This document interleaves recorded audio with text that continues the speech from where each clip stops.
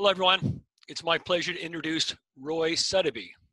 Roy Suddaby is the Francis Winspear Chair and the Associate Dean of Research and Faculty Renewal at the Gustavson School of Business in the University of Victoria.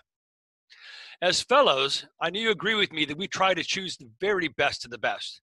And since you have read his application and have voted in the affirmative, I know you agree with me that Roy is definitely one of the best of the best. Now, I'm not going to spend my time reading the his application or reading the program, other than to say Roy is an internationally renowned scholar of organizational theory and institutional change. In addition, he's also a pioneer of qualitative research. Now, since we don't have the chance to actually be here in person, and so therefore we don't have a chance to literally sit down and talk with Roy, I thought I'd help you get to know him better for those who don't know him by telling you a few uh, fun facts about his personal life. So here we go. The first one is Roy was raised and uh, born and raised in rural Alberta. Now, this is an honor he shares with two people. You may realize on the left, or may recognize on the left, the intellectual giant Erving Goffman. On the right, there's the much less intellectually inclined, but probably more popular today, fictional Marvel superhero Wolverine. Yes, all three of these people claim to have been born and raised in rural Alberta. Another fun fact about Roy is that he supported himself through both high school and through uh, college by being a radio disc jockey. This experience has left him, and I quote, burdened with a deep knowledge and abiding love of country music. So I think he and Jean Bartunek need to get together and talk a little about Dolly Parton songs. Another fun fact is that he came to academia relatively late in life after a decade as a corporate lawyer. Now you may ask yourself, why would anybody leave such a fun and fulfilling life as the life of a corporate lawyer?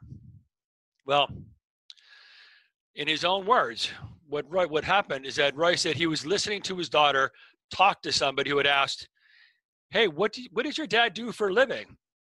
And she turned, his daughter turned to this person and said, you know, and I quote, I don't know. He just talks on the phone all day.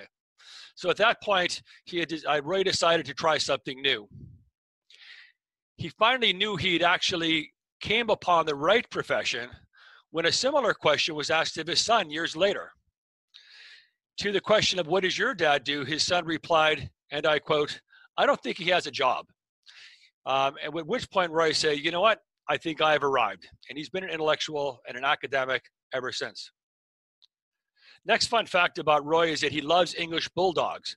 Um, here's a picture of what an English bulldog looks like.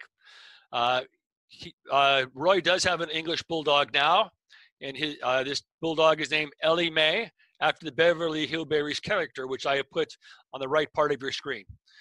Uh, why would he name his character, or his, excuse me, his dog Ellie Mae? Uh, because she is, and I quote, beautiful, fearless, and shockingly strong. And a last fun fact about Roy was that Roy was uniquely prepared for the COVID crisis, probably more than any of us, given the constellation of hobbies that he has, which is he likes to hike, and he likes to bike, and he likes to read science fiction, especially dystopian science fiction. So there you go. Now you know a little bit more about Roy. I look forward to a time when we I could actually introduce you in person, and you can meet him in person. But until then, I wish you all the very best. Hope that you're surviving well and look forward to seeing you hopefully in person next year. Take care.